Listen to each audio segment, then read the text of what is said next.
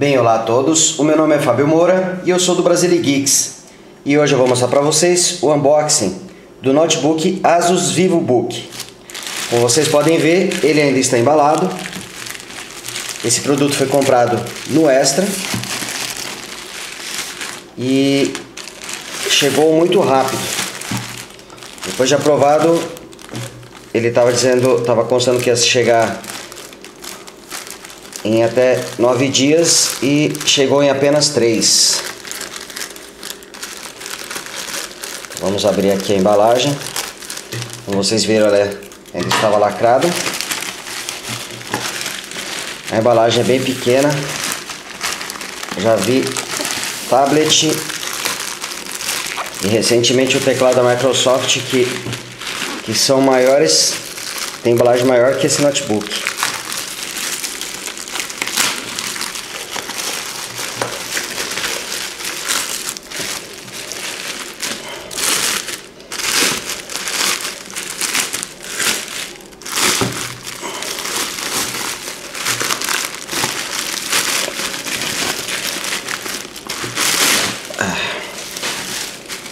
Então ele está com plástico bolha. Aqui está a caixa. Bem, como vocês podem ver, é uma caixa simples. Aqui tem um selo EcoBox, porque ela utiliza componentes reciclados na caixa. É a mesma caixa que eu já vi em reviews internacionais. Está devidamente lacrada. Não teve o lacre rompido. Então, vamos tirar aqui o lacre dela.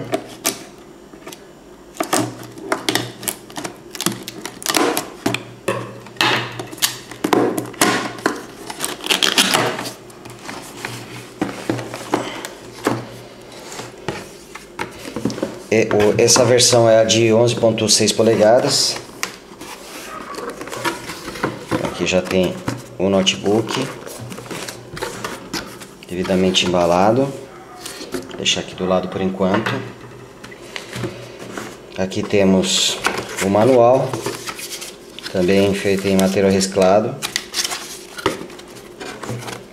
Mais um folheto, mais um pequeno certificado e uma flanelinha. E aqui o carregador. Bom, não vem muita coisa não, é, é um kit bem básico mesmo, é só o notebook, basicamente o notebook, fonte e uma flanela. A fonte eu achei bem interessante, vamos ver se na versão brasileira é assim também, já vi que é. Como vocês podem ver, a fonte parece até de um, de um smartphone, de um celular. Uma fonte bem portátil, é quase o tamanho da, da fonte dos Galaxy Tabs cabo é bastante comprido. Vamos ver aqui a amperagem dela.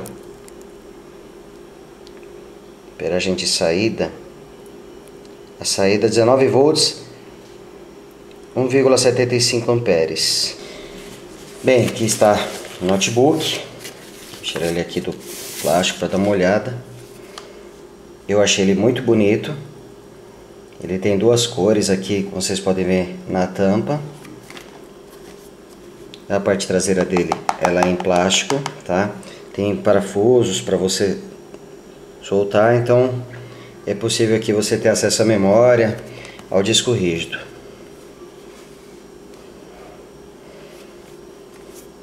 A parte, essa parte de cima é feita em alumínio. Vamos abri-lo aqui.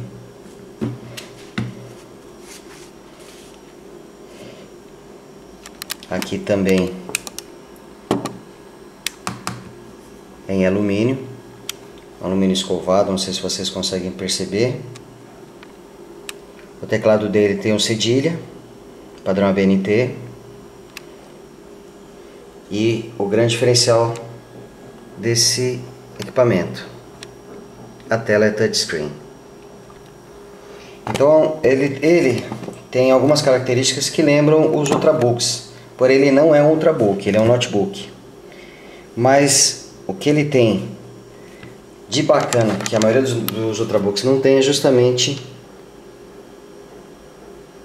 o, a tela touchscreen, que permite até 10 toques simultâneos.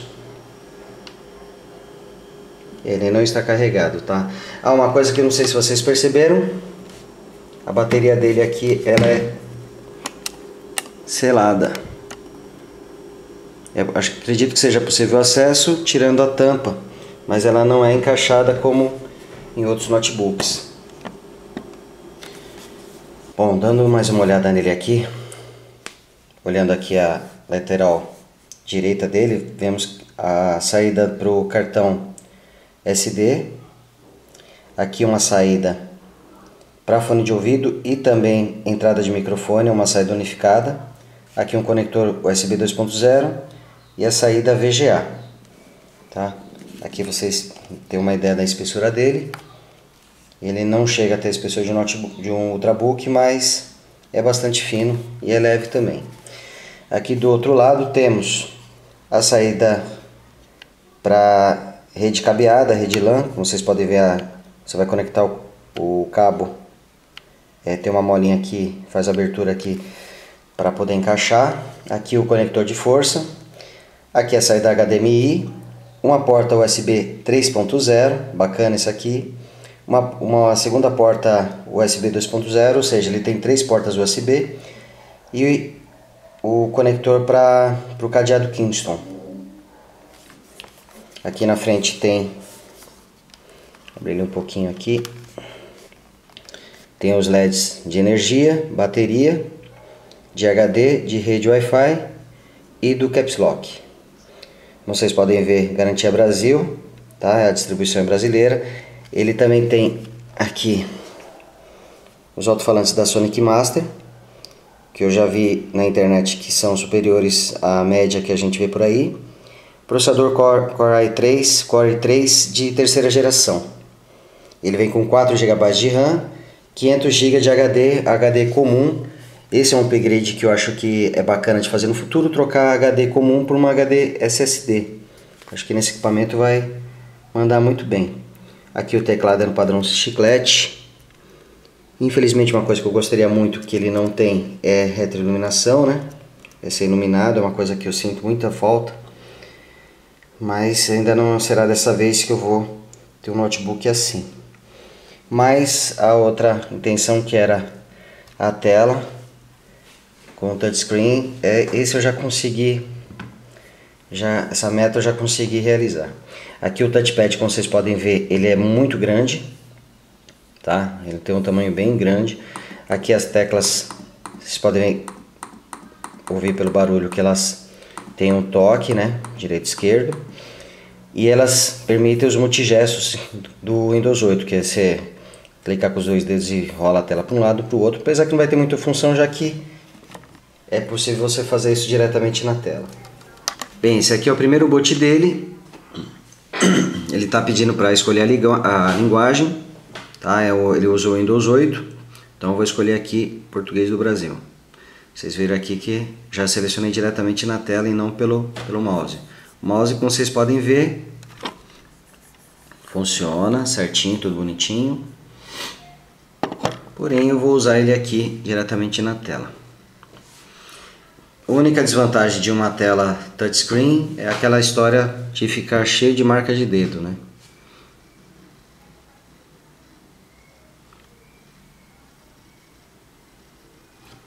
Então aqui eu vou colocar o e-mail.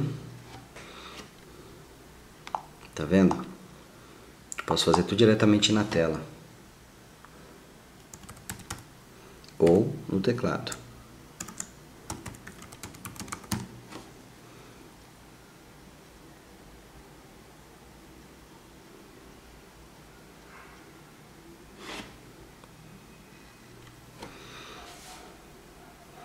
Então tá aqui a configuração inicial. Essa é a primeira configuração dele, então você escolhe a rede que você quer.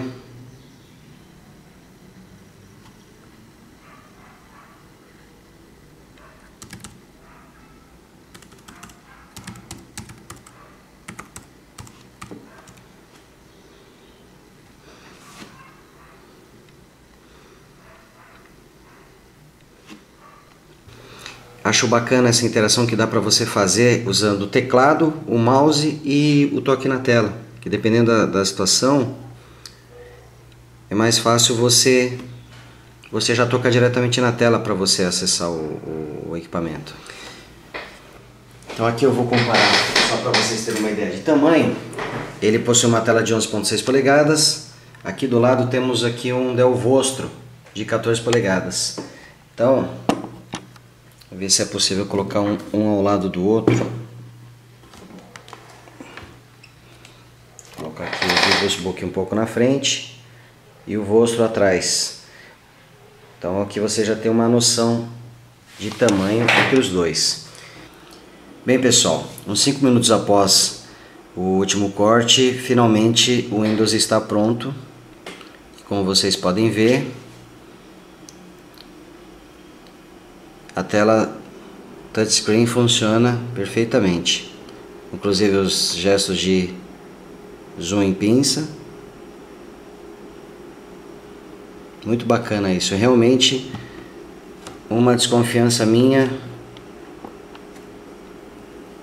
hoje é confirmada de que o Windows 8 só fica realmente bacana numa tela touchscreen.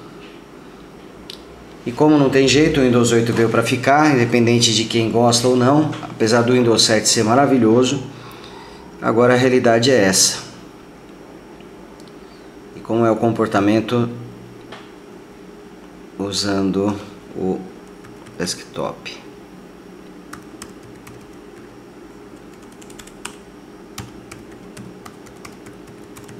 O teclado é muito bom,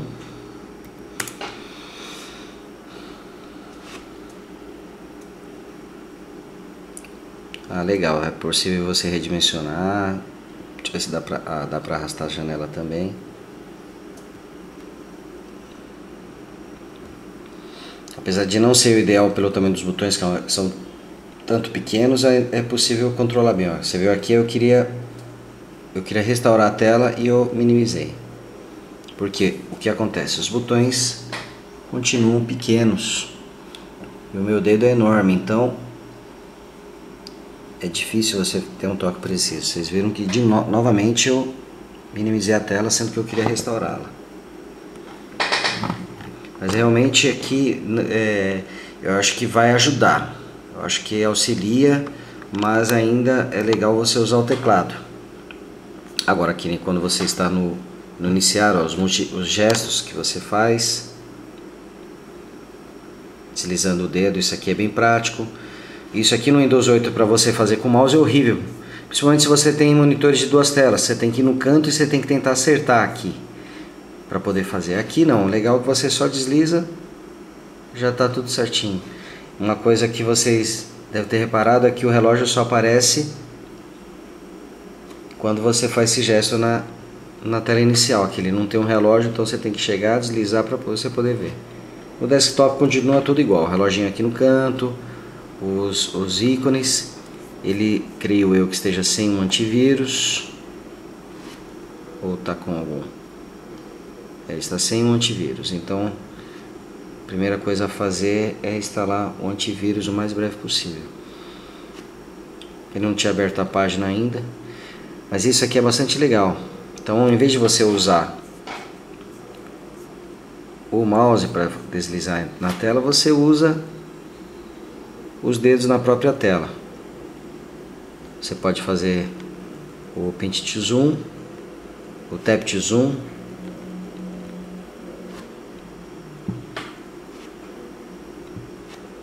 Você pode clicar diretamente no link. Tá vendo? Ele vai carregar belezinha.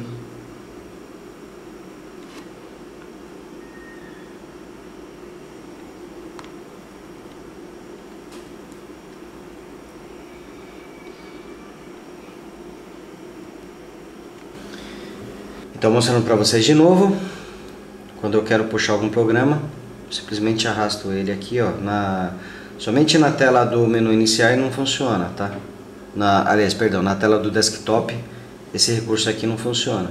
E o legal é que aqui, que eu mostrei para vocês agora, se eu pegar, puxar e voltar, ele mostra o gerenciador de tarefas. A multitarefa aqui. Então aqui tem o aplicativo de pessoas e o desktop. Então, se eu pego aqui, eu já puxo diretamente o último aplicativo que eu abri. E se eu volto, ele vai abrir tudo isso aqui. Lembrando, só funciona aqui no menu iniciar ou nos apps que ocupam tela cheia, que são os apps que estão nessa tela aqui. Esses que não são executados no modo legado, que o pessoal fala que é o modo no desktop que vocês já estão acostumados a ver. Então, vou pegar um exemplo aqui, vou puxar esse aplicativo, está aqui. Então eu quero puxar o desktop, tá aqui ó, eu posso chegar, tá vendo? Selecionar entre ele e o menu iniciar. Eu posso chegar aqui, jogar ele num trecho da tela também. Vocês viram aqui, eu posso pegar, aumentar o tamanho da tela para usar ele em segundo plano ou diminuir.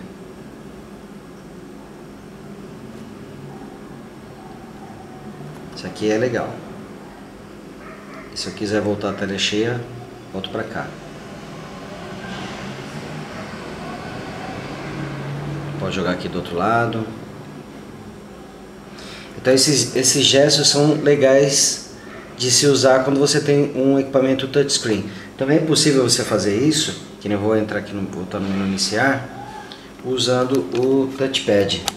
Dois gestos fazem ele rolar a tela. Vocês estão vendo aqui, ó. Com dois dedos ele rola a tela. Apesar de ser um bom quebra-galho não é a mesma coisa que você usar os próprios dedos na tela.